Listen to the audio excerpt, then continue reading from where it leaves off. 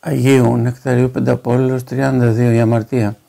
Κάθε κακία τελειώνει με απαγορευμένη ειδονή και κάθε αιρετή σε πνευματική παρηγοριά. Η μια επικρατώντας ερεθίζει τα αγαθά και άλλη παρόμοια τα συγγενή. Ο Θεός επέβλεψε του αμαρτωλούς εκείνους και ευδελικτούς και διεφθαρμένους για να δει αν υπάρχει ανάμεσά τους κάποιος να γνωρίζει το Θεό από τα θαύματα που έκανε και αν τον επικαλείται αλλά όλοι παρεξέκλειναν και αχριώθηκαν, συχαμεροί και μισητοί και δεν υπάρχει ούτε ένας καλός ανάμεσά τους. Ψαλμή. Όποιος πει πως είναι αναμάρτητος ψεύδεται και απατάται, πιασμένος από την υπερηφάνεια. Ιωάννης.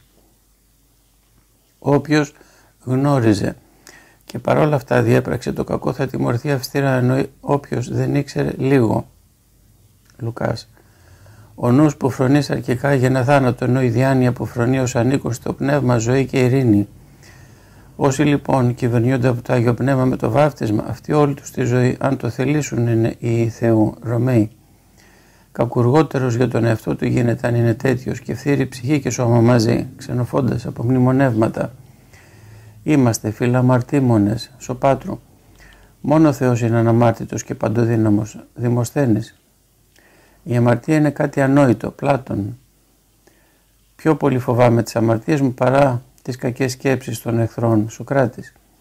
Να κάνει κανείς λάθος είναι κάτι που θα το βρει σε όλους τους ανθρώπους, αλλά όποιος κάνει λάθος έπειτα το διορθώνει και δεν είναι αμετάπιστος, αφού πέσει σε άδικο αυτός δεν είναι ούτε ασυλλόγιστος ούτε άτυχος. Σοφοκλής Αντιγόνη.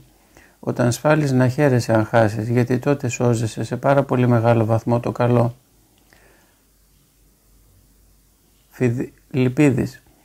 Να συμπεριφέρεσαι στους αμαρτωλούς όπως θα ήθελες να σου φερθούν και αυτοί οι Σοκράτες.